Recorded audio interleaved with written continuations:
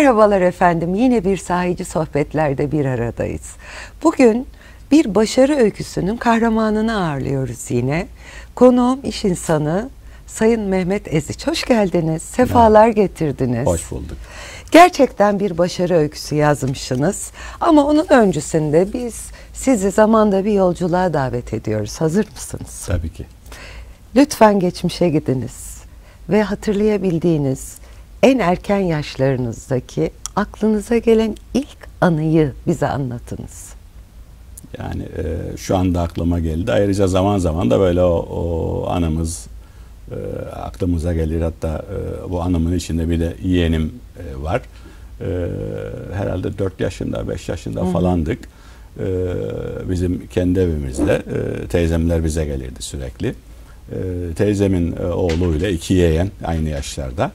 E, bir pencerenin içinde e, önümüze de bir e, büyük tabakta makarna koyarlardı. O küçücük pencerenin içinde ikimiz sığardık. O makarna da sığardı ve onun içinde makarna yiyişimiz ee, inanılmaz bir anı ve zaman zaman işte şu anda işte gittiğimde köye o pencereye bakarım nasıl, sığdık? nasıl sığardık oraya diye böyle e, çok şey gelir bize.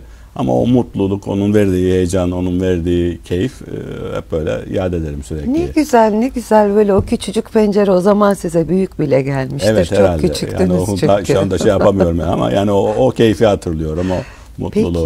Peki e, ev neredeydi? Ev, e, ben aslen Vadilli köyündenim. Ee, orada yani 18-19 yaşıma kadar orada büyüdüm. E, Bu anlattığınız ev orası. E, orada evet Vadili'de oldu. E, e, 4 yaşındasınız ve yıl evet, kaç? Yıl e, herhalde 70-71 falan. 70-71. Evet. Hanede kaç kişi var? Ailede Hanede kaç kişisiniz? 5 kişiyiz o zaman. 5 kişi. Evet. Baba ne iş yapar? Babam şofördü, kamyon şoförüydü. Kamyon şoförü. Biraz aileyi Ee, anlatır Annem mısınız? ev hanımıydı. Ee, ayrıca işte köylerde biliyorsunuz böyle küçük çaplı da bir hayvancılık e, vardı. Evimizde e, küçük bir mandıramız vardı. Orada 3-5 e, inek e, falan vardı. Onlara da bakıyorduk bir yandan. Kaç kardeşsiniz? Üç kardeşiz. Yaş yani sıra benden ayrı. Ben en büyüğüm. Büyük. Sizden büyük. sonra? Benden sonra bir erkek kardeşim var. Bir de kız kardeşim var. Aralıklarınız nasıl? Bir buçuk yaş falan aralık. Yani 300 gibi. Gibi evet. Öyle 300 gibi. Anneniz epey sizinle uğraşmıştır en azından. tabii be- benle uğraştı tabii ki biliyorsunuz e, evin en büyükleri hep en şey e, sıkıyor o büyükler çeker.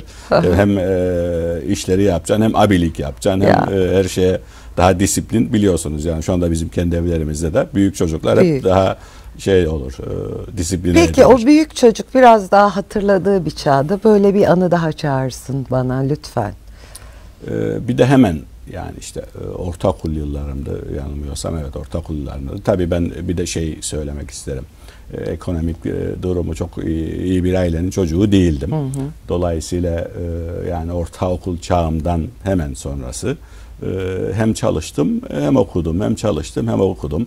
Tabii bizim nesilde çok vardı böyle özellikle yaz tatillerinde. Tabii. Sürekli çalışılırdı. Şimdiki gibi değildi. Ee, ya ben yazın dışında da ama çalışıyordum. Yani okuldan Okurken de. çıktıktan sonra. Nereye gidiyordunuz? öğleden Nerede iş sonra, yapıyordunuz? işte şeyine göre değişir ama mesela köyde bir e, bakkal vardı. Hem bakkal hem kahveydi. E, oraya giderdim mesela öğleden sonraları. Orada e, hem bakkala hem kahveye yardım ederdim İki akşama kadar. birden. Evet akşam kahve kapanana kadar. Akşam kahve kapanınca e, bakkal kapanınca eve giderdim. Ertesi gün okula, ertesi gün tekrar o döngünün içinde öyle e, yaz tatillerinde bilimum bir sürü e, inşaat işi olsun, e, ona benzer işler olsun. Öyle çalışırdık. Tabii orada daha fazla e, maaş alırdık. Yazın daha fazla Tabii, maaş tabii, alırdınız. tabii. Bir şey söyleyeceğim. Eve o bütçeye katkıyı götürmek o yaştaki bir çocuk için nasıl bir duygu? E, bambaşka bir şey. Yani o, o böyle anlatmakla anlatılacak bir şey değil. Anlatın dinlemek Yani isterim. e, inanılmaz bir keyif. E, Eve elinizde bir miktar bir şeyle gidersiniz. E, annenize verirsiniz. E, sanıyorum hayata da onlar hazırladı bizi. Yani en azından ben benim için onu söyleyebilirim. E, küçük yaştan onun verdiği e, stres, zaman zaman üzüntü, zaman zaman heyecan ama e, bununla birlikte aslında farkında olmadan da hayata hazırlanıyorsun. Yani matematiği öğreniyorsun, hesabı kitabı öğreniyorsun, e, işletmenin nasıl işlediğini, ikili ilişkileri öğreniyorsun, müşteriye, e, gelene gidene e, nasıl davranacağını öğreniyorsun. Bir hep hayat yolculuğu aslında. Peki dediğiniz babanız gibi. nasıl bir rol modeldi Mehmet Bey? Ee, babamız da sürekli çalışıyordu. O da bütün gün işte e, işinde gücünde. Ee, biz de annemizle daha çok. Ee, Zaman zaman hatta babam İngiltere'ye giderdi. İngiltere'de çalışırdı. 6 ay, 8 ay tekrar gelir, tekrar giderdi. Yani o, o süreçlerden de geçtik. Biz de işte annemizle evde e, hem okurduk, hem çalışırdık, hem hayvanlara bakardık. Böyle büyüdük. Ve evet e, çok dinlediğimiz hikayelerden çünkü herkesin imkansızlıklarının Evet. eşit olduğu zamanları konuşuyoruz. Ve ama o dönemde çalışanlar ve okuyanların da başarı öykülerinin nasıl yazdıklarını da görüyoruz. Şimdi 74 geliyor. Mesela sözünüzü kestim az evvel bir şey söylediniz. Direkt o şey yaptı kafamda gözümde canlandı. Ee, Bir az daha büyük bir anınız geliyor Evet, mu evet. Ee, mesela köyde o zaman sinemalar hep e, kapanmıştı ama yeni yeni böyle açılıyor açılmalar da başlamıştı sinemalarda. Ee, köyümüzde sinema vardı ve ku- kulüp çalıştırıyordu. Köy kulübü çalıştırıyordu. Ee, beni seçmişlerdi. Orada e, oranın kantinini çalıştırıyordum. Yaşınız Ee, kaç? Yaşım herhalde 14-13 o, o- Oo. oralarda ve e, tabii kantinde bütün gün o, sürekli orada tutamazsınız yiyecekleri, yemişleri, çikolataları ve vesaire. Tabii ki. Bir koper bisikletim vardı. Ee, o koper bisikletin üzerine büyük kartonların içerisine o yemişleri yerleştirirdim. Ee, iterek tabii süremezsin çok büyük. Onun- onunla Ha, şeye, şeye şey- götürürdüm, sinemaya götürürdüm. Aman Sonra gelir bir diğer kasayı götürür yerleştirirdim. Akşam onları satar parayı toplar e, gelirdim. İşte hafta sonu hafta başı işte oranın sorumlusuna işte bunları sattık bunları onların hesabını vermeye. İşte bunu da öğrendim şeyden çalıştığım bakkaldan öğrendim yani hesabı tutmayı. Aman ne stoğu kadar güzel bir tutmayı anı geldi. Falan böyle şey söyleyince o, o, o koper bisiklette o yemişleri götürüşüm Şu geldi anda benim gözümde de o kare canlandı. Daha ergenlik çağında Evet, bir evet, evet. gençcecik e, insan böyle bisikleti süremiyor çünkü çok ağır. Evet çok ağır süremiyorum. Çok ağır İte ite. yani. Düşünsenize hesabı kitabı yapıp müthiş. Evet. Okulda nasıldınız? Okulum ortaydı. Ee, yani öyle çok bazı derslerim çok iyiydi. Sınıfın hatta yani e, ortaokulda da lisede de sınıf kaptanlığı da yaptım. Ama teknik yönüm benim çok iyiydi. Böyle edebiyattı, İngilizceydi falan. Onlar daha e, ortaydı. Ama e, mesela Sedat Simav Endüstri Meslek Lisesi'ni bitirdim. Elektrik bölümünü. Teknik derslerim hep 9-10'du. Ama diğerler işte geçecek kadar biraz üstünde falan. Öyle e, idi. E, o yönüm, sporculuk yönüm vardı. Gene Sporda gençliğimde. neler yaptınız? Futbol oynuyordum. Vas- okul yıllarımızda basketbol, atletizm onlarda da vardım. Mücahitlik. Mücahitlik o biz normal klasik askerlik yaptık. çünkü sizin normal askerliğe yaşınız, normal, 20 dönem. askerlik yaptık. 66 doğmuş. 66 Tamam doğumlu, evet. 66 doğal 66 olarak Kasım. mücahitlik yok. Askerlik e, nerede yaptınız? Askerlik şeyde Alsancak'ta 5. tabur vardı. Orada yaptık. Bir buçuk iki yıl Niye işte. direkt böyle sordum biliyor musunuz? Bu kadar çalışan bir askerlikte de size bir yerin işletmesi falan verildi mi? Ee, kısmen verilmişti aslında. Yani Doğru onu merak ettim. Yani orada e, biz şey gittiğimizde asker orada büyük bir açık vardı şeyde e, telefon santral bölümünde. Oranın komutanı direkt beni oraya dedi bu açık dedi kapanacak burada açık istemiyoruz ve de beni tek başıma orada sorumlu yapmıştı. E, 6-7 ayın içinde kapatmıştık o borçları şeyleri. E, vardı o yani o şeyi verdi, verdiği bana hem teknik hem e, işte o çocukken yaptığım işlerin verdiği teknik şeyler gittiğim yerlerde güven kazanmama e, kendimi göstermeme e, sebep oldu ve bunun üstüne e, hayatımızı kurduk. Harika. Endüstri Meslek Lisesi, Lisesi'nden evet. sonra e, eğitim. Sonra gidemedim. Bu bende hep ukde kaldı. Öyle Çünkü mi? dediğim gibi ailemin e, durumu müsait değildi. E, zaten yani e, son iki yıl mesela yani bunu söylerim çekinmem de lise 2 ve lise 3'ü e, yaparken e, köyümüzün 5-6 otobüsü vardı gidip gelen sürekli köye. O zaman otobüste ulaşım sadece öyleydi. Arabalarla gelip gitme yoktu.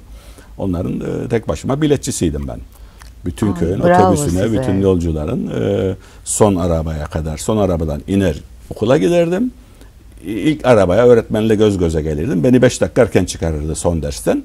Akşam dönerken öğlen veya öğlen ilk arabaya biner, yine yine arkadan gelene, arkadan gelene biletçilik yaparak e, hayatımı idame ettim. Yani son iki yılımı Öyle çalıştım. Muhteşem. Dolayısıyla üniversite üniversite e, sınavına dahi giremedim. Yani hani girdim de geçmedim değil. Girmedim. Yalnız öyle bir anı anlattınız ki şimdi bu adet ya tüylerim diken diken oldu. Gözümde canlandırdığım Ha, kare. beni tanıyan arkadaşlar Aa, hep söyler. Ya, çok çevrem. çok çok etkilendim çünkü bu da bir film karesi olabilir Mehmet Bey.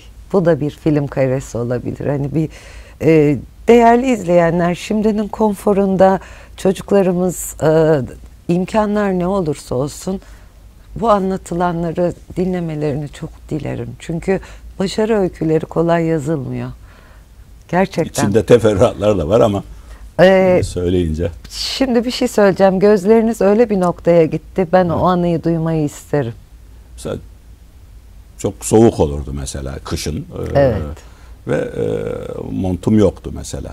Kazakla okuldan çıkardım. Ee, işte köye kadar beş otobüs değişerek inerdim ya.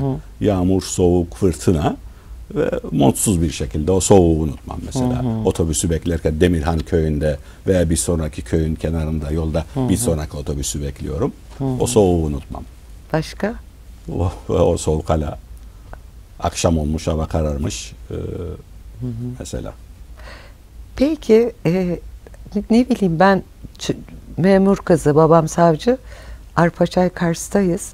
E, o sobalı lojmanlar şey, annem böyle su şişeleri ısıtır ayağımıza Evet. koyardı. Böyle bir anı var mı? Ee, Evde annenizin e, ısınma için yaptığı Isınma için o tabii dönem. ki bizde de o zaman şeylerimiz vardı. Bu elektrikli sobalar vardı, çubuklu. Veya Evet. daha sonra gazlı sobalar çıktı. Isınma için köy köyde birçok köyde aslında hala öyle yani Tabii, şimdiki tabii. gibi e, klimalar efendime söyleyeyim şeyler e, yok hiç yoktu o zamanlar. E, o zamanın şartlarında ısınma ya odun sobası vardı. Özellikle odun sobası da yeni yeni giriyordu. Elektrikli soba ve gazlı soba. E, Onların da keyfi başkaydı ama yani Çok güzel hatırlarım o Alaaddin sobaları. dediğimiz böyle bir mazotlu sobalar vardı. Ondan yoktu mesela. O biraz daha üst gelirlilerin Üst. evindeydi onlar. Aha. Biz daha klasik olan o gazlı sobalarda üç gözlü. Peki e, üşüyen, biletçilik yapan, e, kantin işleten, sinema kantini işleten, ilk e, ergenlikten itibaren hep çalışan bir gencin ruh hali nasıldı? Umutları neydi? Hatır, onları hatırlayalım biraz. Yani o zamanlar aslında yani hayat sizi öyle bir götürüyor ki yani oturup hani böyle ileriye dönük planlar tabii ki şey yaparsınız ama öyle çok orta ve uzun vadeli planınız yoktur. Hep günlüktü planınız. O gün karnınızı doyurmak, evdeki ailenize e, bir şeyler götürebilmek veya işte senin kendi e, okul e, haşlığını, okul üniformanı alabileceğin onların hayaliydi sadece ve işte bir de okulu bitirdikten sonra bir mesleğin olsun, işin olsun ve o işine devam edebilesin. Yani benim şeyim oydu hep o, o amaçlaydı. Hep böyle daha uzun vadeli planım hiç olmadı. Hiçbir Ee, zaman. Hiç oldu, hiçbir zaman olmadı. Hatta Ezgi açtığımda bile yani 2-3 yıl yine yoktu. Yani sırf Ona tabii ayrıca yani, geleceğim. e, O, o- orada bile yoktu. Hani "Aa, şöyle de yapalım, böyle yap, şöyle şubeler olsun falan. Hep sonradan yavaş yavaş yavaş yavaş. Yani hayat sürüklüyordu hep. Çok hoş. Sizden sonraki kardeşler nasıl yapı olarak? Ee, onlar pek bana benzemezler yani. Benz- Ben biraz daha şeyim. Kız kardeşim polis mesela. Polis. Polis Hı. evet. e, Eşi de polis. E, Diğer kardeşim de e, taksicilik yapıyor. Sallaktı. e, Hayvan kesiyordu. E, Sonra onu artık yaşta ilerleyince yapamaz oldu. Magos'a da taksicilik yapıyor. Aa, farklı yolculuklar. Evet, evet. Anne baba hayatta mı? İkisi de rahmetlendi. Ee, e, ruhları şad olsun. Amin. Ee, kaç yaşındaydınız? Ee, annem öldüğünde herhalde 41-42 yaşındaydım. Ee, babam da öldüğünde 38 falan. Yani sizin bir, Hayat bir başlamıştı benim için. birey olarak hayatta sağlam durduğunuzu görebildikleri bir Aynen dönem öyle. oldu. Aynen öyle. Bunu özellikle sordum. Peki dede nine figürü var mı hayatınızda? Ee, hiç olmadı. Hiç. Hiç olmadı. Yani nine e, annemin annesi vardı ama çok e, çok karışmazdık. Yani giderdik işte formalite gidişlerdi öyle hani sürekli birlikte olduğumuz değildi. Ee, diğer tarafta da ya ben çok çok küçüktüm dedem e, rahmetlendiğinde. Dolayısıyla öyle hatırlamıyorum. O tarz bir yanı yok. Yani benim Yok. anladığım siz çekirdek aile kendi yağınızla Kendi kendime kendi kendinize kavrulurken büyük çocuk olarak da siz bu ailenin hanesine çok ciddi artılar yazmışsınız. Ne güzel. İlk e, askerden döndükten sonra mı başladı iş hayatı?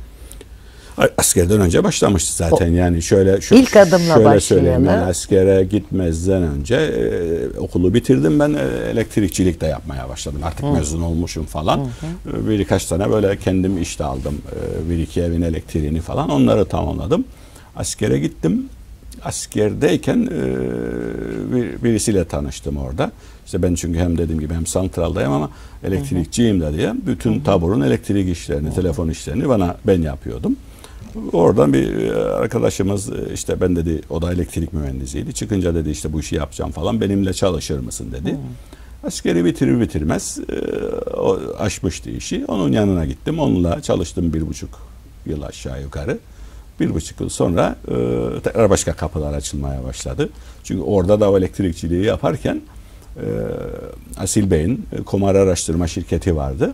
Orada kontrol... O kapı nasıl açıldı? E, eşim orada çalışıyordu. Eşim Komar Araştırma Şirketi'ne girmişti. E, orada tabii benim de köylülerim falan arkadaşlarım vardı orada çalışan. Beni bildikleri için ya dediler ya işte hafta içi anket yapılıyor veya hafta sonu bu anketlerin doğru yapılıp yapılmadığını, bu adreslere hmm. gerçekten gidilip gidilmediğini, bu soruların hepsinin sorulup sorulmadığını kontrol etmemiz lazım ki anketin doğruluğu hmm. e, kanıtlansın diye. E, bu kontrolde güvenilir birileri tarafından yapılması lazım. Bir veya iki kişi maksimum. İşte hafta sonları gelir misin? Takla atarız yani biz e, çok da iyi bir maaş veriyorlar o zaman biliyorsunuz Asil Bey'in Kıbrıs'a yeni geldiği zamanlar falan maaşlar çok iyi güzel. E, hafta sonları oraya gitmeye başladım. E, oradan da e, sağ olsunlar iyi kazanmıştım yani. E, Harika. Bir şey soracağım yalnız. Komar'a gidince beni beğendiler orada. Bir süre sonra e, hafta sonları yetmez oldu. Dediler gel bizde full time hmm. ol yani e, full time çalış.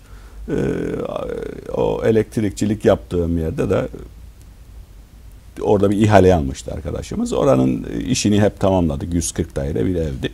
Onları tamamladık, teslim ettik. Teslim ettikten sonra da Komar Araştırma Şirketi'ne geçtim. Tam zamanlı geçtim. Tam zamanlı geçtim. Elektrikçiliği bıraktım. Ee, Komar şirketinde işte iki, iki buçuk yıl öyle bir orada çalıştım. Sonra Komar şirketini e, kapatmak zorunda kaldık Asil Bey'in şeyiyle. Çok hızlı gidiyoruz. Evet. Bir dakika çok hızlı gidiyoruz. Hayat bize e, neler sundu. Şimdi eşim dediniz. Evet. O zaman eşiniz miydi? Ee, orada mı tanıştınız? Yok orada değil bizim o, o da hep erken oldu. Bir dakika onu dinlemeden ben eşime geçtik. Tabii. Merak ediyorum onu. Ee, eşimle ben lise 1 son eşim orta 3 son da tanıştık. Çocukluk aşkı. Çocuk, direkt çocuk Çocukluk yani. Çocukluk aşkı, evet. çok güzel. Ee, lise 2, lise 3 devam etti arkadaşlığımız. Benim lise 2, lise 3. Eşim daha lise 2. Ee, lise 3 bitti diplomayı aldık. Daha doğrusu karneyi aldık, dönücülük yaptık. Diplomayı aldık 15 gün sonra nişanı yaptık. Şaka yapıyorsun. Evet, gerçekten. Kaç yaşındasınız? Ben 17, 18 yaşında. Eşim 17 yaşında. E bu... Ee, nişan yaptık. Ee, öyle çok şükür hala devam. Çok, Çok da mutluyuz. Büyük de e, çılgınlık, büyük risk. Yani şimdi düşünüyoruz, ikimiz de konuşuyoruz zaman zaman. Çocuksunuz. Çocuğuz tabii. Işte Çocuksunuz. Yani yakından e, Aklı Selim arkadaşlarımız, sevenlerimiz uyarmaya çalışıyor ama yani kim ne dinler? büyük aşk. Kim dinler yani o zaman? Hatta şeye bakıyor, niye bana böyle konuşuyor bu falan diyorsun yani. Bir dakika. Aa, şey çok mu? Bunu biraz dinlemek isterim Mehmet Bey. İki çocuk Hadi evleneceğiz diye yola evet. çıktılar. Sonrası ve nasıl geldi o dönem? Aileler nasıl? de tamam dedi. Dinlemiyoruz çünkü. Ee, ben işte nişanı yaptık. Üç ay daha yaz dönemiydi. Ben askere gittim. Hı. Ee, eşim okula gitti. Onun çünkü bir yıl daha var tamamlasın. Lise 3'e. Yüzüğü çıkarttı gitti lise 3'e. Ayşe Hanım bunları hiç bilmezdim ben. Ee, yüzüğü çıkardı. Lise 3'ü tamamladı. E, askerden geldik. E, o da tabii okulu bitirdi. E, bir işe girdi. O çalışmaya başladı. Ben askerliği bitirdim. Geldim. İşte bir yıl sonra düğünü Yaşlarınız yaptık. kaç? 20. 20. 20.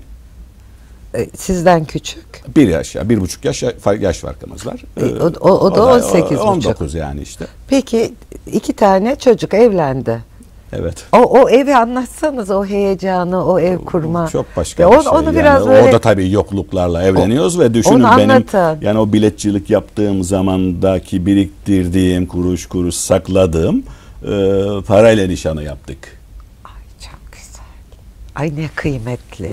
Çok az annem bir şeyler yaptı. Onun annesi biraz ama çok az yani. Evet. Ve benim o otobüste biletçilik yaptığım e, yılların biriktirmiş olduğum Nişanı ücret, yaptınız. Nişanı yaptık. Sonra Aile ev- arası tabii. evlilik döneminde Evlilik neredesiniz? dönemi yine borç e, borç aldık, şey yaptık. İşte alabildiğimiz olması gereken yatak olması gerekir işte.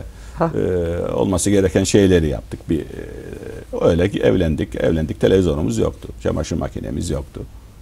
Çok şükür. Ama o evin içinde iki tane aşık Evet, vardı. evet, Ve eminim Aynen e, samanlık seyran olur Aynen öyle, derler ya. aynen öyle. Biraz anlatsanız o günleri. Oradan bir anı çağırın. Yeni evlisiniz. Kendi imkanlarınızla bir dünya kurdunuz. Böyle aklınıza Hiçbir gelen... şey görmüyorsunuz. Yani orada ne yediğiniz, ne içtiğiniz önemli değil. Birliktesiniz. Ee, aynı frekansta iki insan. Başka bir şey şey yapmıyor. Ne yediğiniz, zeytin ekmek de yeseniz, şey de yeseniz hiç önemli e, arz etmiyor yani. Mesela evlendik.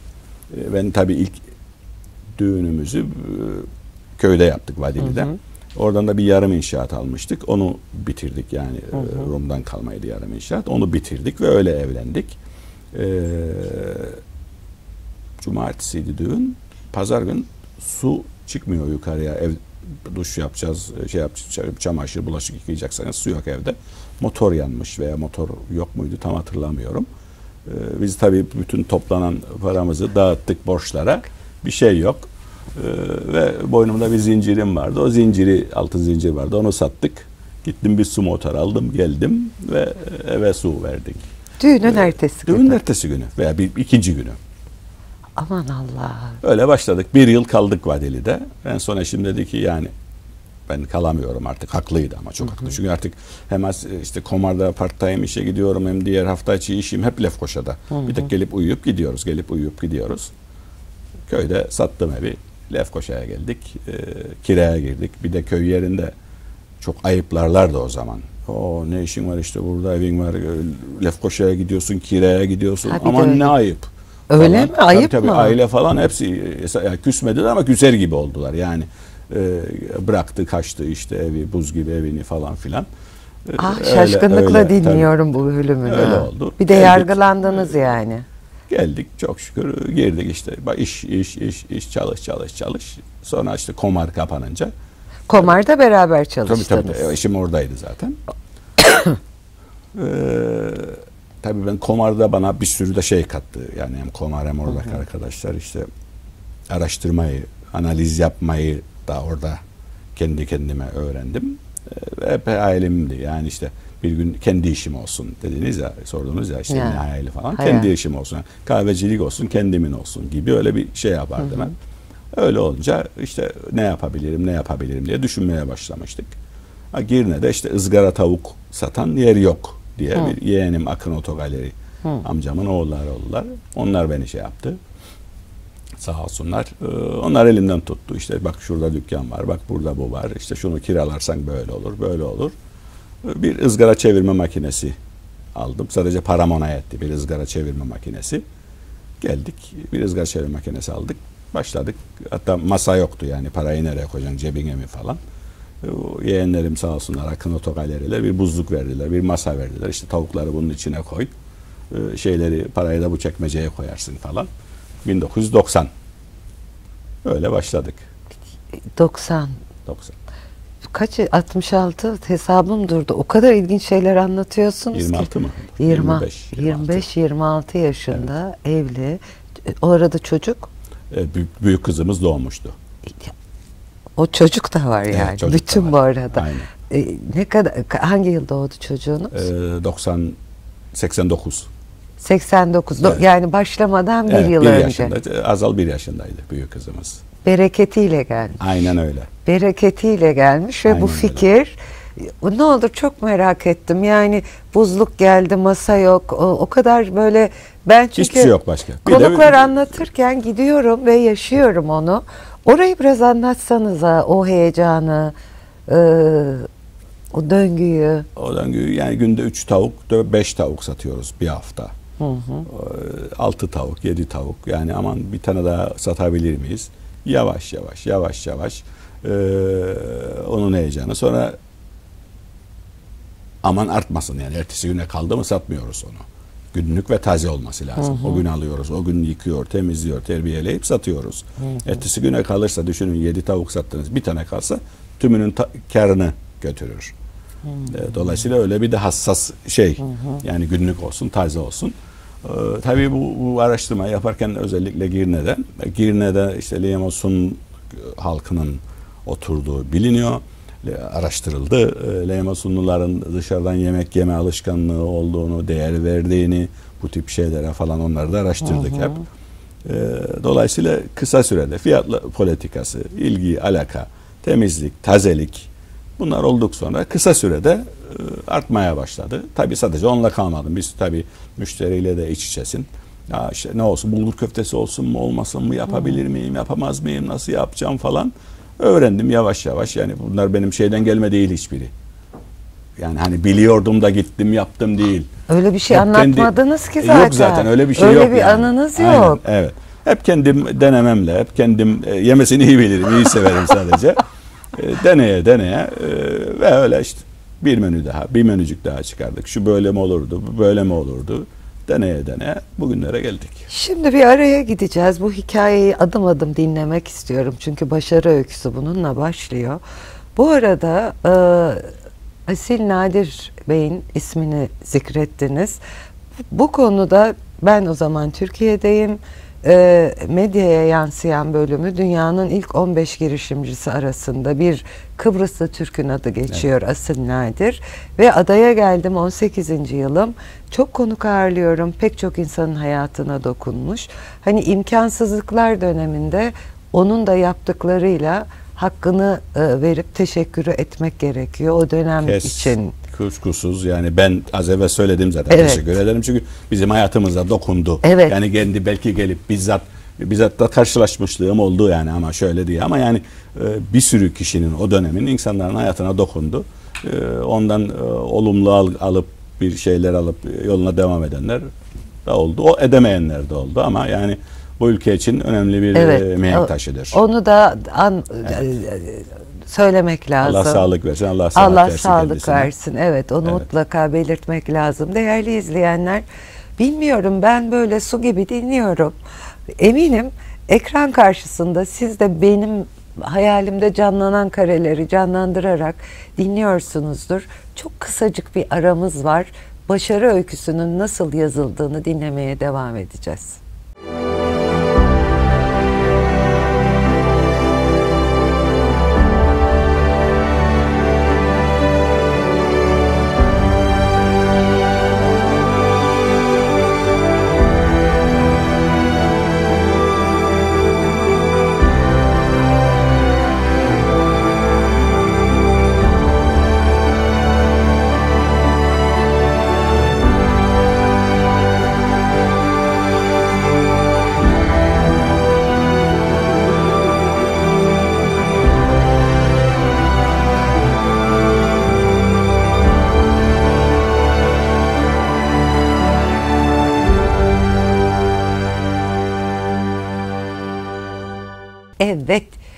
Yeniden bir aradayız. Ekranları karşısına yeni geçenler için sahici sohbetlerin konuğu bu hafta bir başarı öyküsü kahramanı iş insanı Sayın Mehmet Eziç.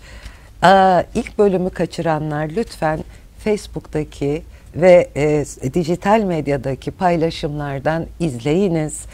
Neler dinledik neler kaldığımız yerden biz devam ediyoruz. Çok teşekkür ediyorum.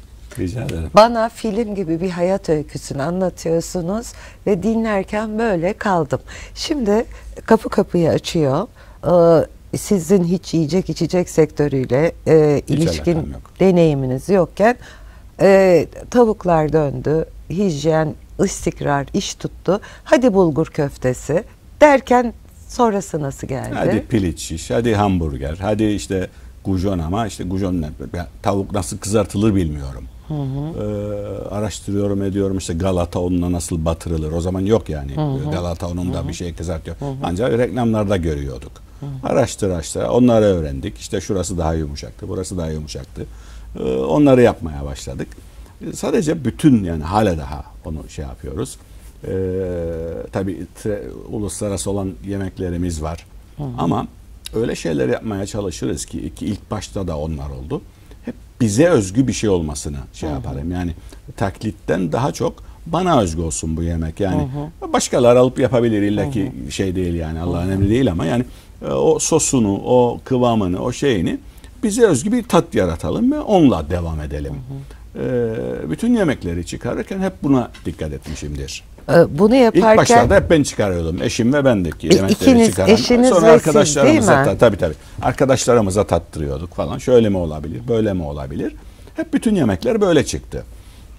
Ve ilk başta zaten hep sadece paket yapıyorduk. Sonra 93'te, 94'te bir iki masa, 93'te bir iki masa koymaya başladık. Sonra orası bizi sığmadı. Hemen şu anda lavaşın olduğu yeri satın aldık. Yan tarafa geçtik. Masaları çoğalttık.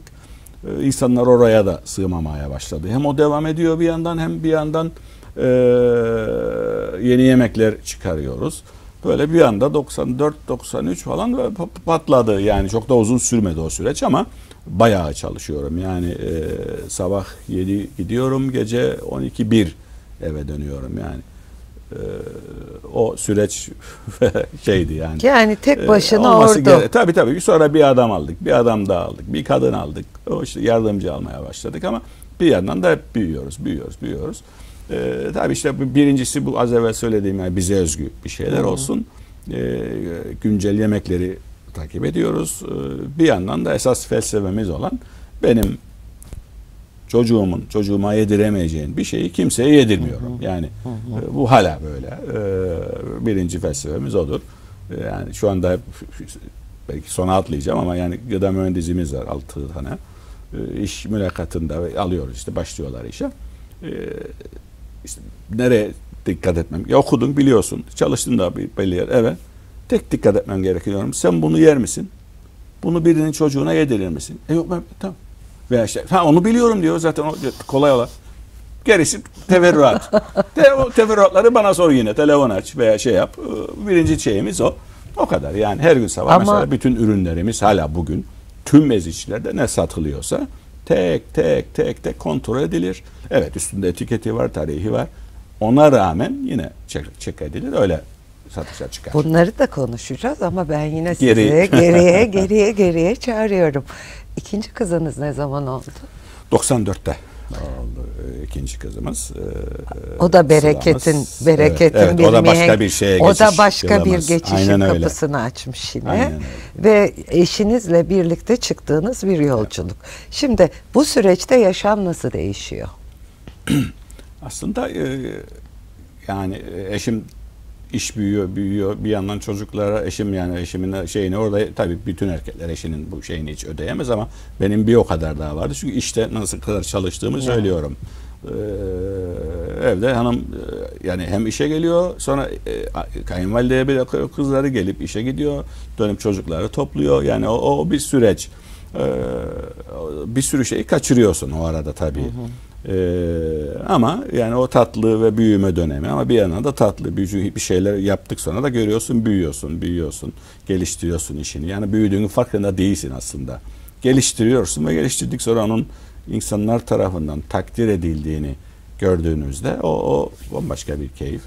Mesela bir gece anlatın bana. Eşinizle birlikte yataktasınız. O yıllarda ve vay be dediğiniz bir an geliyor mu gözünüzün önüne? Bir sohbet, böyle bir an. Nereden? Bir an geldi ama yani vaybelik değil aslında. Peki. E, Sıla ağladı. Ben o kadar yoğun çalışıyorum ki Evet. e, Sıla işte yeni doğdu. E, işte eşim de yorgun. O gece ben bakacakmışım çocuğa. Benim nöbetimmiş. Ha nöbetleşe Ha, bakıyorsunuz. Güya, ha, ona- güya ama yani falan. Ee, ağlamış çocuk. Eşim beni şey yaptı işte Mehmet ağlıyor Sıla falan. Ben kalktım ama kalkarken düştüm. Yani dizlerimin üzerine Hmm. düştüm ve zorluyorum zorluyorum yatağa çıkamıyorum. O kadar yorgunum. Yani kadar dizler, ayaklar falan gitmiş. Ee, onu hatırla gece derken o geldi aklıma ve eşim geldi bana yardım etti. Yatağa çıkmama sonra çocuğa gitti baktı. Ee, o yorgunluk olarak geldi. Yani çünkü hayatımız sadece iş ve e, şu da geldi e, Dilek Hanım yani 2000'li yıllarda falan böyle bir ara ara kendime şey yapıyordum. Ee, tavla oynayan insanlara kıskanıyordum. Mesela nasıl bir şey? Tavla oturup bir arkadaşınla tavla oynamak. Çok basit bir şey aslında değil mi? Çok. Ama ona ayıracak zamanım yoktu. Ee, yani ve baktığınızda yani ben aslında sosyal yaşama dönüşüm 2005'ten sonra, 2007'den sonra başladı. Artık işleri yoluna oturttum, gerekli bir büyüklüğe ulaştım, kurumsallaşmaya başladım, sistemi oturdum ve yavaş yavaş işin içinden çekilip gene kontrol ederek ama az az dışarı çıkarak tabii bu arada e, kızlar da işte e, daha 10 yıl oluyor Azar gireli işin içine. Onlar işte büyük kızımız geldi. Onu yavaş yavaş işin içine soktuk. E, Sistemi kurduk ve ben daha yavaş yavaş e, işten kendime zaman ayırmaya başladım. Çok Ama onu- ondan öncesi yoktu. Yani bakın söylüyorum yani o tavla oynayan insanları e, kıskanmışlığım çok oldu. Çok etkileyici çünkü çocukluk anısında biz bir oyun göremedik. Yok. Ee, pencere önünde yenilen bir, Bir makarna, makarna, geldi. evet, evet. Ondan sonrasında hep çalışan e, çocuk, uğraşan. genç, delikanlı e, evleniyor, yine çalışıyor. Yataktan düşecek kadar Evet. yorgun bir genç adam ve genç kadın, Genç e, kadın. ve yola çıkmışlar. Çok çok etkilenerek dinliyorum sizi. E, şimdi biz adaya 2002'de geldik. Çok bakir Girne o zaman. Evet. Çok bakir. Şimdiyi bilenler Türkiye'den ve pek çok yerden izleyen değerli izleyenlerimiz Eziç restoranı e, pek çok dünya insanı biliyor ama bilmeyenler için söyleyeyim. Adaya geldik. Yemek yiyecek bir yer arıyoruz. Şimdi lavaşın olduğu yerde Eziç var dediler. Ve biz e, keyifle geldik çünkü alternatifiniz yoktu. Evet. Yoktu alternatifiniz. Porsiyonlarınız çok dikkatimizi çekti. Devasa çünkü e, önce göz doyurma gibi bir sonra da lezzet, Evet. sonra da hijyen. Evet. Yani biz bunu kendimiz deneyimledik. Sonra zaten biz de Eziç'in yolculuğuna sizlerle birlikte e, tanıklık ettik. O başarı öyküsünün birer parçasında da Eziç müdavimleri olarak biz de vardık. Kesinlikle. Özellikle çocuklarım çok teşekkür ediyorlar. Sonra devam edelim. şeyi ekleyeyim yani söylediniz ya büyük Amerikan Evet. style. İşte bu bir ilkti Kıbrıs'ta. Az evvel ben de sözlerimi söylerken yani hep ilkleri İlkleri. yaparak. O da o ilklerden biriydi. Ee, hep o ilklerle aslında bir şey e, yarattık. Ee, ve bir şey daha ekleyeyim. Belki sonda söyleyeceğim ama yani teşekkür ettiğiniz sağ olun çok teşekkür ederim. Ee, Eziç aslında bizim değil. Eziç hepimizindir. Yani hep bunu söylerim. Ee, Eziç e, bir tüm bu adada yaşayan, tüm bu adada ekmek yiyen, tüm bu adada e, keyif alarak yaşayan insanlarındır Eziç. Çünkü bir misafiriniz geldiğinde, bir arkadaşınız geldiğinde yurt dışından özellikle biz onu görüyoruz, yaşıyoruz. Herhangi bir şubemize gittiğinizde ya da arkadaşınızla girersiniz. Ee, eminim siz de yaşamışsınızdır. Yani Yaşadım, "Ha, bu- tabii. bu, bu benim yaşadığım yerde böyle bir mekanım Tabii var. ki. Böyle Tabii bir yerim ki. var. Böyle bir şeyim var. Bu bizim diye Tabii. hissederek oraya geliyorsunuz. Bizim e, buradaki yapmamız gereken sizin alnınızın ak, e, akıyla oradan çıkmanızı sağlamak. Sizi mutlu, sizi ve misafirlerinizi mutlu göndermek. Şimdi çok Dolayısıyla çok, Eziş markası hepimizindir. çok mutlu çıktığımız bir yerin gerisindeki emeği bugün dinlerken oraya duyduğum saygı iki kat arttı. Sağ olun. Aa, bunu açık yüreklilikle söylemeliyim. Ee, Bunu da sağlamak bizim sorumluluğumuz. Yani bu söylediklerinizi gerçekleştirmek de bizim ailemizin, çalışma arkadaşlarımızın sorumluluğu. Şimdi e, lavaşın olduğu yerdeki Eziç'e Eziç'te, geri dönüyoruz. Ondan sonra nasıl büyüyoruz? Ondan sonra e,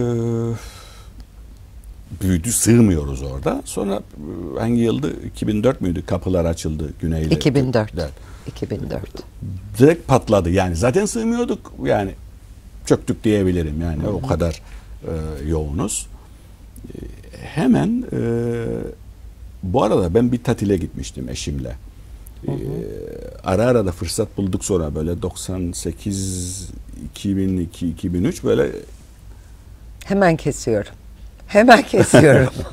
Bu kadar yıl çalışan insanın ilk tatilini dinleyeyim sonra devam edelim. Evet.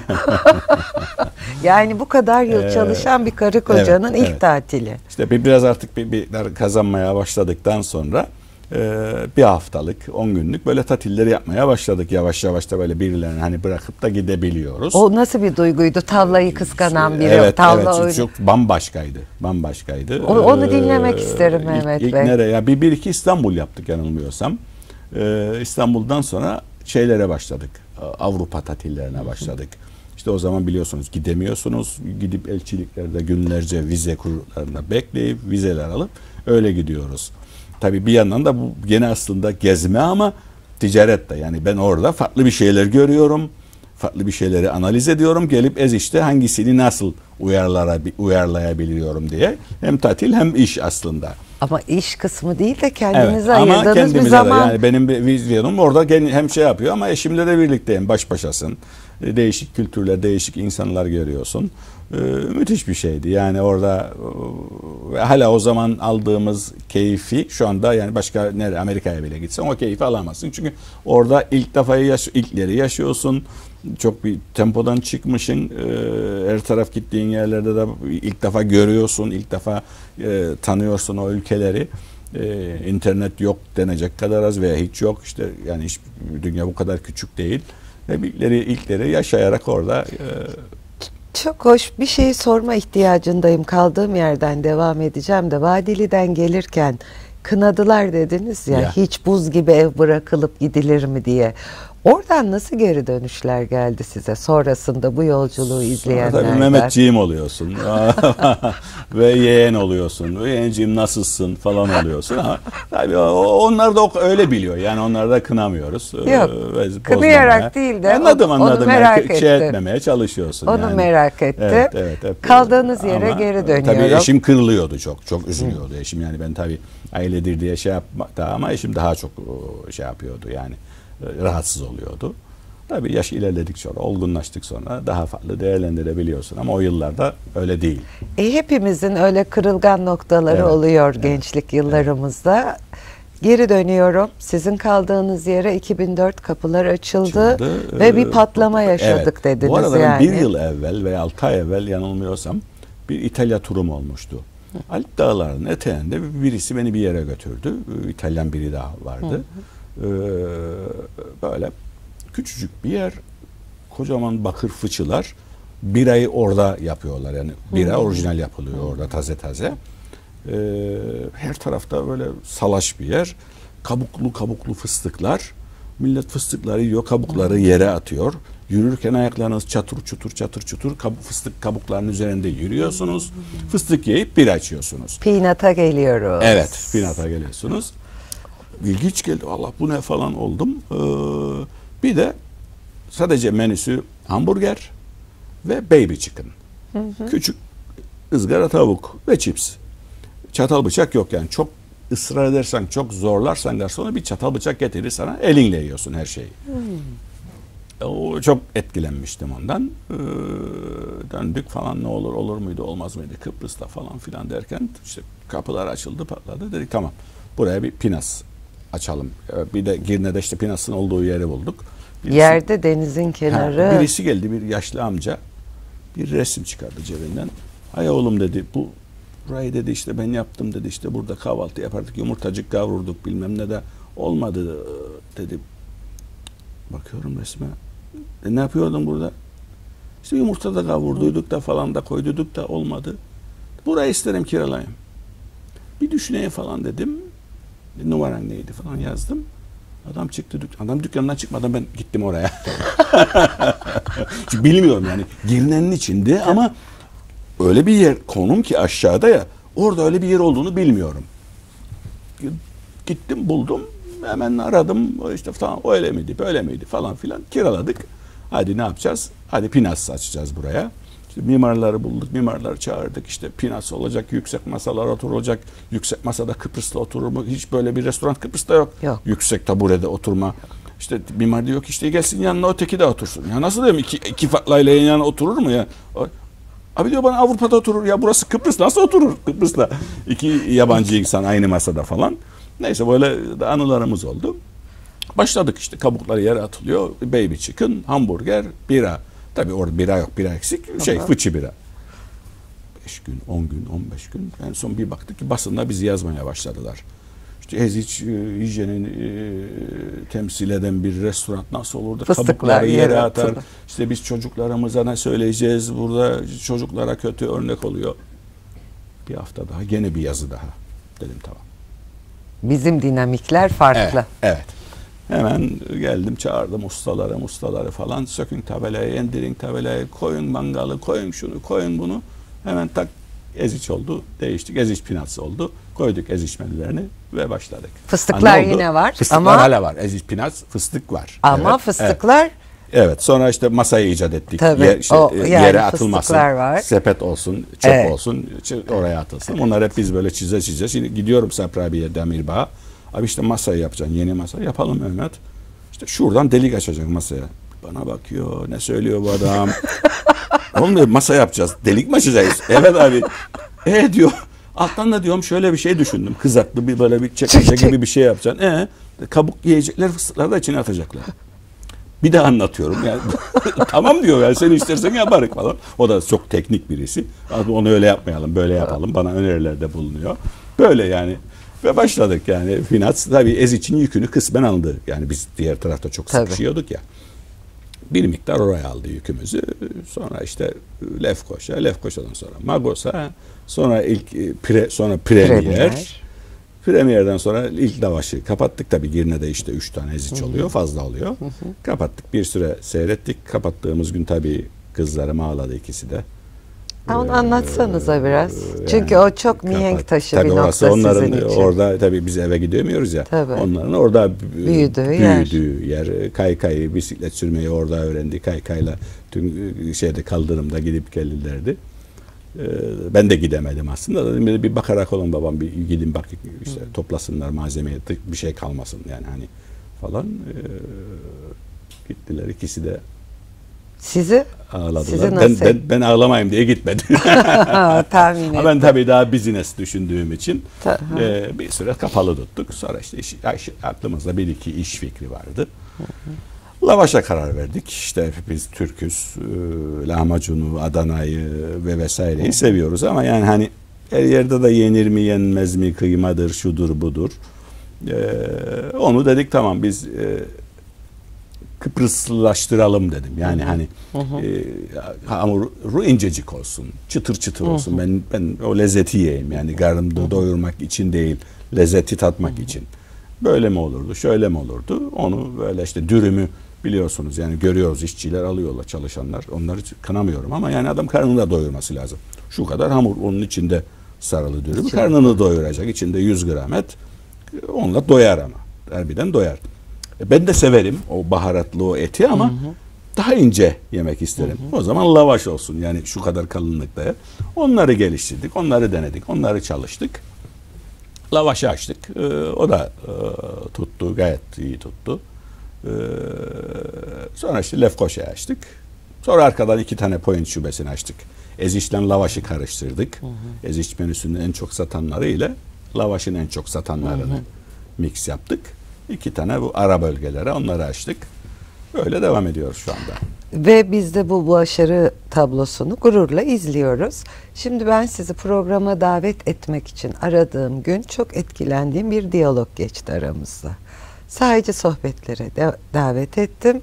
Dediniz ki Eziç'le ilgiliyse kızlarım ben artık geri çekildim. Şimdi o kadar etkilendim ki ben de size döndüm dedim ki kızlarınız değil ben buradaki başarı Evet. öyküsüyle ilgileniyorum dediniz. O nokta nasıl geldi? Şimdi aslında e, şöyle söyledim ya size ben yavaş yavaş o çekilme sürecim devam ediyor. Evet. Artık yani sadece işte daha stratejik kararlarda oluyorum. Menü koyma, menü yeni trendler zaten Hayır, müdahale o- etmeye kalksam yanlış yaparım. Onlara bıraktım tamamen. O kararı alış sürecinizi merak ettim. Öyle olması gerektiği için. Ya tamam merak ediyorum yine gidiyorum yine yanlarındayım ama daha çünkü e, aslında çocuklarım ya- yaşları 30 olmuş, 31 olmuş. Ya. Çocuk değiller. Değiller. Heh, onları da artık önlerinin açılıp onların da bir şeyleri başarıp o keyfi onların da yaşaması lazım. Ha, bende de eksik olan bir şey var. Ben de onu tamamlıyorum. Hmm. Ne var? Ben çocuklarımı büyütmedim. Çocuklarımla birlikte olamadım. Bir torunum oldu. O eksikliği onunla tamamlıyorum. Çok etkileyici. Torununuz olduğu gün anlatsanıza Mehmet Bey. Ayşe Hanım ve siz. Ee, yani başka bir çok tuhaf oluyorsun. Yani bir, bir, ay yaşlandım mı da diyorsun. Yani hani hmm, bir de o, o da oluyor yani ya, dede falan yani öyle bir şey yapıyorsun kendi kendine. Ee, bir süre sonra ama kanıksıyorsun yani evet yaşlanıyorsun ama o o o çocuk böyle yüzüne baktık sonra o o sana sarıldık sonra bir şey yaptık sonra bu anlatılmaz yani torun gerçekten hep söylerdi büyüklerimiz yani torun anlatılmaz yaşanır anca diye. Gerçekten öyle. Yani hayatınız... Biz iş, işle e, işten kopmadan ama onu da kaçırmadan. Çünkü özellikle şimdi işte iki buçuk yaşında falan en tatlı en şey e, mıcır olduğu zamanlar e, daha gerisi olmayacak. Yani ben şimdi onu yaşamam lazım. Dolayısıyla iki arada bir derede böyle gidip doya doya yaşamaya çalışıyorum. Yani çocuklarınızda yaşayamadıklarınızı evet. şu anda çocuk nasıl büyüyor evet. e, tanıklık ediyorsunuz. Geçen Ve... eşime sordum pardon. Ya işte bir, bir tuhaf hareket yaptı. Eliyle, emziğiyle mi alakalı da eşim bir baktı, bir durdu. Evet dedi, sen dedi aslında bunu soruyorsun yani çok e, tuhaf bir soru aslında ama dedi bilmiyorsun. Çünkü ev yoktun bizimde değildin yani. Dedim evet bilmiyorum yani bu dönemde mi yapar bunu çocuk yani. Hani şimdi bir de e, biz eskiden ha, çocuktur yapar dedik çocuktur ama her yaşa göre her aya göre de değişiyor ya. çocuğun yaptıkları. Ya. Tabii şimdi anneler babalar hep internetten ha bu şimdi falan dönemi geldi filan dönemi geldi ama biz o zaman bilmiyorduk evet. ne dönemi işte çocuk evet. büyüsün. Evet. Zaten evet. çocuksunuz. Evet yani. öyle aynen aynen zaten öyle diyorum yani. Çocuklarla beraber e, Kızlarımla eşim birlikte büyüdü. Ya, yani siz, öyle. siz de o biz kategoridesiniz. De yani. Evet. Ee, kızlarınız ne mutlu ki e, yolunuzdan geldiler. Başka bir alan da seçebilirlerdi. Tabii ki tabii ki. Damadım da sağ olsun özellikle e, şey damadım yani büyük damadımız diyelim Salih'imiz. O da direkt şey restoranların içinde. Hı hı. Diğer damat da mimar. O da inşaat bacağımızda e, küçük bir şirkette oraya kurduk. İşte bir iki yapsat falan e, yaptık. O da o tarafta ama aynı zamanda restoranda da yani e, şey de olmasa olmazdı. Yani damatların da restoranın içinde olma işi e, bir süre sonra onların evliliğine de yansıyabilirdi. Ama beraberler oldukları için hadi biri bir şubede biri diğeri bir şubede sonra ikisi aynı şubede falan o da birlikteliği sağlar. Çünkü öyle bir sektör ki e, işinizle çatışmaya girebilirsiniz. Doğru. Gecesi gündüzü olmayan Doğru. bir şey. Dolayısıyla ailece içinde oldukları için ne saat yoğun, ne saat değil, ne saat birlikte olması gerektiğini, ne saat eğlenmeye gitmesi, gitmesi gerektiklerini iyi, birbirlerini iyi anlayabiliyorlar. Dolayısıyla onlar da birbirlerini tanıyorlar. Ama ben şeyi sormuştunuz az evvel çocukların bunu seçmesiyle alakalı. Hı hı. Ee, Eziç premieri yapacağımda e, sordum kızlarıma. Yani hı hı. evet daha bulu çağındaydılar ama yani böyle büyük bir yatırıma gireceğiz. Hı hı e, hemen cevap istemiyorum ama yani bu büyük yatırımın arkasından büyüme Hı. gelecek, şubeleşmelere gelecek. Siz bu işi gerçekten yapmayı istiyor musunuz? Hemen cevap vermeyin. Yok hayır söylerim. Yine de bir, bir daha Düşünün. düşünün falan. Hı. Ve ondan sonra bu yatırımları başlattım. Ee, Azal e, İngiltere'de hospitalden food management okudu. Yani işin teknik kısmını. Ee, Sıla işletme okudu. Ee, o da diğer bacağını tamamlıyorlar. Birbirlerini tamamlıyorlar. Ee, ikisi de yemeği çok seviyor. İkisi de yemek çıkarmayı e, inanılmaz Salih de dahil e, inanılmaz yani son bir buçuk yıldır. Yani Salih onları da geçti e, damadım. O da inanılmaz keyif alıyor yemek yapmaktan, yeni bir şeyler yapmaktan. Birbirlerini tamamlıyorlar. Tamamlama çok kıymetli bir kelime. Bir de rol model olarak Mehmet Bey ve e, Ayşe Hanım var karşılarında. Evet. Bu yolu birlikte yürümüş, evet. kararları birlikte evet. almış. Aile içinde çocuklarınız da bunu gördüğü için ne mutlu. Damatlarınız da bu uyum içerisinde.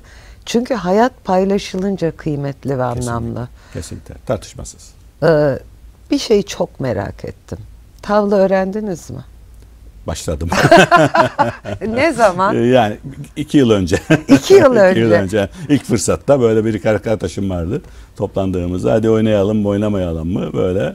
Hatta onlara da söyledim yani dedim böyle bir şey hissetmiştim yani kaç yıl oldu falan.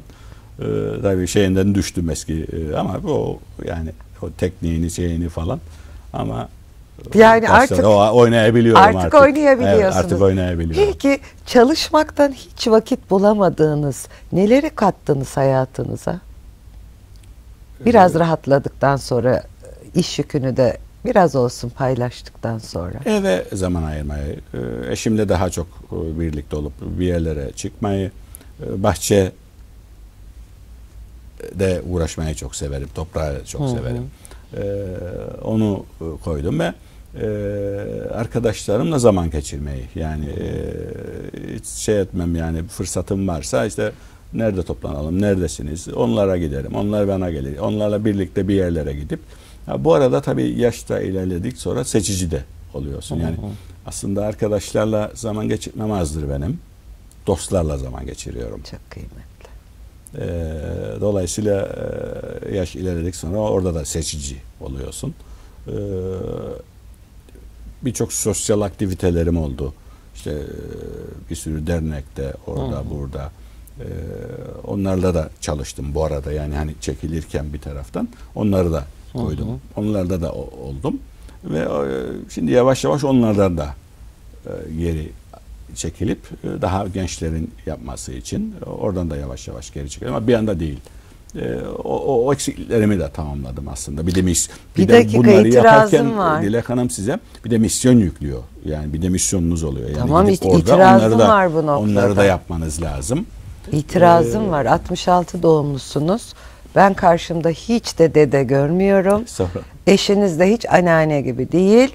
Böyle e, yaşı çok iki kere üç kere öne çıkarttınız. Çekilirken çekilirken nereye bu Mehmet Bey? çekilme de şu, şu yani Nereye? sosyal şeyden çekilmemin başka e, nedenleri var aslında. Belki bu program onun için uygun değildi. Daha ekonomi veya daha şey konuşulması gereken bir şey ama yani Yo, onu da konuşabiliriz. sosyal veya de, birliklerdeki, derneklerdeki veya da diğer şeylerdeki şeylere e, güvenim sarsıldı o yüzden. Yani e, birazcık da güven yitirdim ben e, kendi adıma değil yani. Orada e, yapılanlar, oradaki icraatlar veya onların yaptığı icraatları başka yere taşımada gidip derdini anlattığında oradaki e, duyarsızlıklardan falan e, ben nere niye zamanım benim zamanım kıymetli. Çok. Niye zaman harcayayım ki deyip geri çekilme, Çekilme. oldu. Ha, yani harcanacak daha Buna kıymetli. saygı duyarım. Dostlarımla harcarım o zamanı. Sevdiklerimle Tabii. doldururum. Ee, çok şey oldu benim ki kendi kendime ya bu, burada ne işim var dediğim oldu. Onu kendi kendime 3-5 defa söylediğimde dedim tamam. Ve Şimdi O hayat başka nedeni yani yaştan dolayı değil. Yok, Tamamen konuşur- o, o, o- onu demek istedim. Yani başka Şimdi içim nedenler- rahatladı. evet, başka nedenlerden dolayı çünkü e, toplum farklı. Top- Yönetenler farklı, siyaset farklı. Hepimiz burada yaşıyoruz. Evet. Ee, Başka bir şey oldu yani e, çözemedim.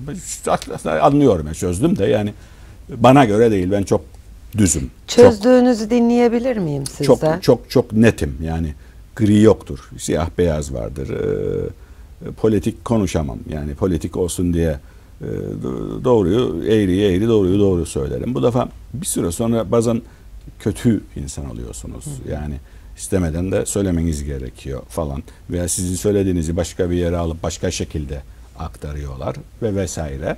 Dolayısıyla baktım Ne çözdünüz Mehmet Bey? Yani Çözdüm aslında dediğiniz ne? Çözdüm insanların hep e, önce kendilerini düşündüğünü, toplumu düşünmediklerini, e, toplum adına e, bir şeyler yapmaya çalıştıklarını ama çoğunun sözde kaldığını, önce hep çıkar, şahsi çıkarların önde olduğu sürece de buna maalesef si- siyaset de dahildir. Yani hep siyasetçiye zaman zaman hepimiz tukaka diyoruz ama öyle değil yani. Bizim içimizde, bizim arkadaşlarımız hepsi de yani toplum bu aslında. Ee, onun ay- aynaya yansımasıdır o. Ee, dolayısıyla yani biz bir, bir sürü yapılması gereken reformlar şunlardan bunlardan bahsediyoruz. e, olması gerekenleri hepimiz oturduğumuzda konuştuğumuzda hepimiz şikayet ediyoruz. Hadi yapın. Yapmaya gelince yap. Niye yapılmıyor o zaman? Yani o, o- orada bir tuhaflık var. Yani neden yapılmıyor? O, bu da var. birisi de sana yap dediğinde Aa, niye bana yap dedi. E, öyle. Öyle. Yani derin mevzular verin. Derin mevzular bir küçücük e, tespitte de ben bulunmak isterim. Siyaset çok eleştiriliyor adada, seçmen hiç eleştirilmiyor. evet. Sanki siyasetçi gökten zembille zembil. indi, meclise girdi, e, seçiliyor. Daha yüz gün vardır ya hükümetlerde, yüz gün beklenir. Ne yüz günü? 10. günde eleştiri bombardımanı. E, kim getirdi oraya? Bir eleştiri bombardımanı bir de talep bombardımanı. Ta- Bir de zaten bana şunu arka kapılardan ben onları gördüm çok. Aman aman aman aman. Şimdi bir yandan da siyasetçi kızıyım. Babam da Sinop milletvekilliği yaptığı için küçük nüfuslardaki siyaseti belirleyici olan kişisel çıkarlar oluyor evet, ve e, bu çıkarların siyaseti belirlediği bir süreçte seçmen kriterini tamamen buna göre endeksliyor. Sonra ideal siyaset beklentisi içerisine Evet. giriyor. Benim çözemediğim konu bu. Bu yüzden de hep diyorum ki ee, seçmen sadece seçilenin değil seçmenin de sınavı. Bu, bunu bir idrak edebilsek sanıyorum bir zihniyet devrimi yaşamamız Zihniyet, gerekiyor. Ee, bakınız bende siyah beyaz var gri yok dediniz. Zaman zaman griye de bakabiliriz ama bu kadar kaotik bir ortamda maalesef kafalarımız çok karışıyor bu konuda. Özellikle son dönemlerde ümitsiz olmaya başladım. Yani daha iyi günler olabileceğine dair iyi günler derken huzur Huzur, bahset- en ekonomik olarak değil yani. Huzur, ekonomik olarak huzur. olabiliriz bir şey Huzur. olur. Başka bir şeydir. Yani e, huzur bambaşka bir şeydir. O onu insanın geleceğine dair o huzuru, o güveni hissetmesi daha başka. Ben ben onu söylemeye çalışıyorum. Yani Çok o, o, o nasıl ya bir, bir, bir daireye gidebiliyor musunuz? Herhangi bir daireye ben gitmiyorum. Ya düşünebiliyor musunuz? Çok basit bir örnek vereceğim size yani. Tamamen konu dışına çıktı ama 13 aydır bir koçanı çık bir koçan bekliyorum ya. Koçan çıkacak. Yaptım inşaat dedik dedim ya. Vereceğim paramı alacağım. 13 aydır bir koçan çıkmadı. Ne demektir? 13 aydır. O da böyle de- devlet dairesi mi olur? Evet. Hangi işimiz olsa yani küçük bir olarak belki farklı bir şey söyledim ama de- devlet dairelerine gider. o. Sonra ne oluyor? İşte kamu şey gerginliği yaratılıyor. Ama bunu birisinin düzeltmesi lazım. Kim? Siyasetçi, memur, sendikası ve toplumun. Yani bu bölümde çok sevdiğim bir söz var. Daha önceki programlarda da söylemiştim. Bir kez daha tekrar etmek isterim. Ağaca değil ormana bakabilirsek eğer. e, Bravo, çok çok kıymetli güzel. bir atasözüdür. E, orman yanıyor değerli izleyenler. E, biz bir tek önümüzdeki ağaca bakarsak ağacımız kurtulsa kaç yazar. O yüzden hani biraz orman, toplum o, Evet. o şekilde bakmaya e, bakanları tenzih ederek söylüyorum bunu ve de e, bardağın biraz da dolu tarafına bakarak e, yol almışsak çok çok iyi olur. Buradan ben yine hayata döneceğim. Aynen öyle. E, Covid-19 diye bir musibet diyeceğim artık. Dünyanın yakasına yapıştı. Herkes payına düşeni yaşadı. Bizler de iki ay karantinada kapalı kaldık. Bu kadar yıldır çalışan Mehmet Eziç, Ayşe Eziç, çocukları ne yaptılar o karantina döneminde? Evde eee, her gün akçılık yaptık, yemekleri yaptık, bahçelerle uğraştık. Ama bir yandan da endişe. Endişeli günler. Eee, yani o güzele çevirmeye çalıştık ama o kafadaki huzursuzluk, o kafadaki endişe eee, ruh halimizi bozdu diyebilirim yani. Sadece bizim değil, yani tüm toplumun ruh halini. Çünkü bir- bir ilk defa karşılaşılan bir şey. Televizyonlarda tuhaf şeyler görüyoruz. WhatsApp gruplarından tuhaf tuhaf videolar atılıyor. Ne olacak, ne edecek falan.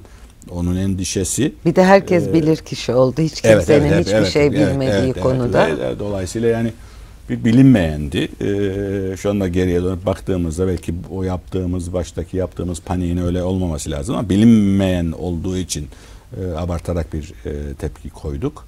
E, kötü günlerdi yalnız onu söyleyebilirim. Her ne kadar birlikte olduk, birlikte zaman geçirdik falan ailemizle, çocuklarımızla falan ama yani Öyle geçirmeyelim Ben zamanı. de e, tamam öyle geçirip tam da o noktadan sordum bunu. Hiç konsantre aile hayatı gençlik ilk gençlik dönemlerinde yaşamamış bir aile o dönemde e, ne yaptığı sordum cevabımı da aldım. Evet. Çünkü dünya huzursuzken sen evinde huzurlu Aynen olamıyorsun. öyle. Yani Aynen öyle. e, insanlığa ders gibi geldi. Ben biraz Pollyanna diyor çocuklarım da eşim de bana. E, hep e, iyi tarafından bakıyorum. Öğretmeye geldi diye düşünmüştüm. İnsanlık biraz tertiplenecek diye düşünmüştüm. E, Sonra böyle vakalar azalıyor. İnsanlığın haline bakıyorum. Hiçbir şey Ders öğrenmemişiz. alınmamış. Hiçbir şey öğren. Şimdi binlerce şükürler olsun. Başarı öyküsü de biz e, Covid-19'la mücadelede yaşadık. Temas takip ekibi, Sağlık Bakanlığı ve e, sayamayacağım yerel yönetimler, hükümetler herkes vatandaşın duyarlılığı da dahil olmak üzere topyekün bir başarı öyküsü yazıldı. Kesinlikle. Biraz rahatlıyoruz. Her şey unutuluyor. Şimdi tamam her şeyi devlete yükleyiniz, yükleyiniz nereye kadar? Devlet her bir vatandaşın başına bir polis koyabilir mi? Kişi kendini koruyamadığı sürece biz bu girdaptan nasıl kurtulabiliriz?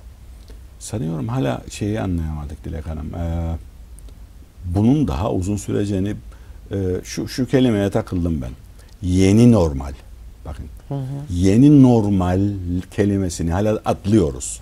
Herkes. Evet hepimiz yani e, bitti de es, o eski eski normaldi. Yeni normalde hayatımızda bundan sonrası olması gerekenler var.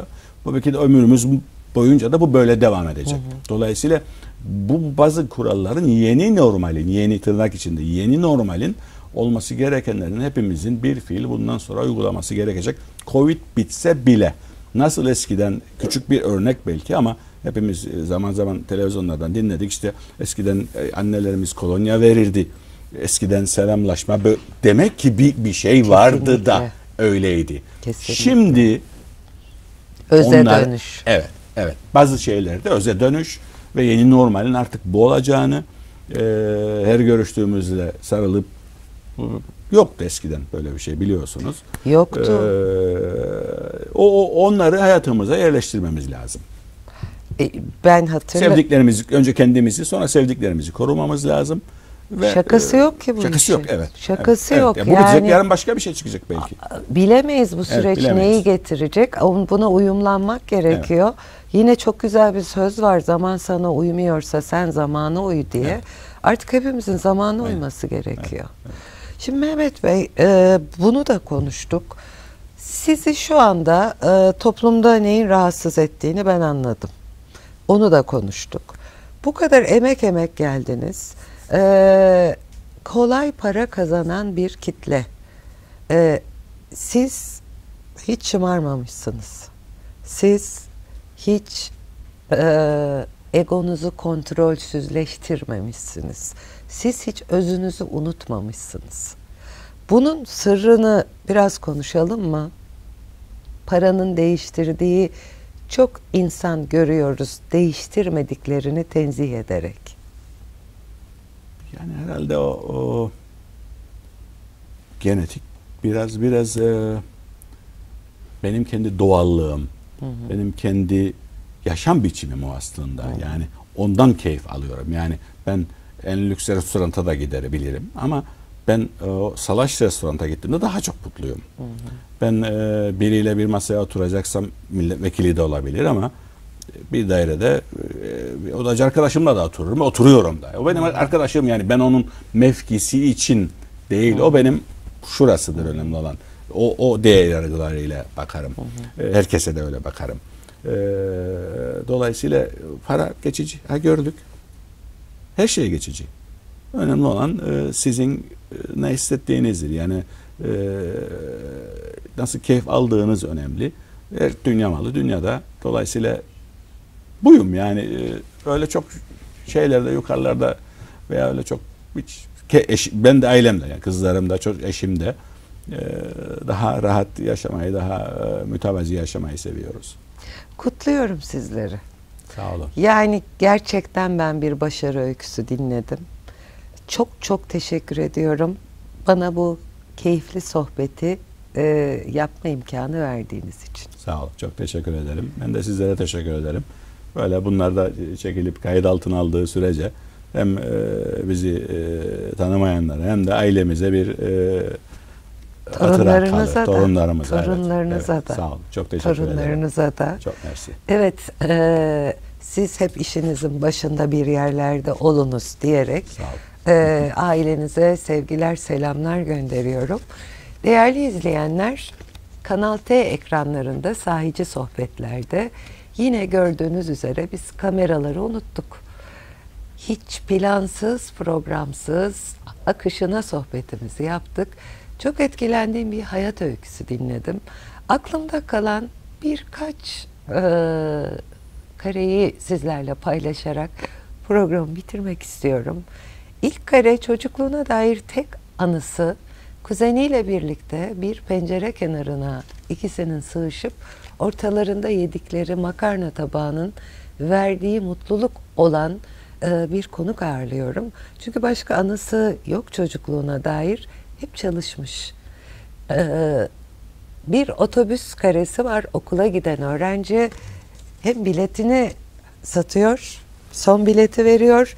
Öğretmeninin toleransıyla 5 dakika geç giriyor. Aynı yolu aynı şekilde dönüyor ve kazakla soğuk günleri geçiriyor.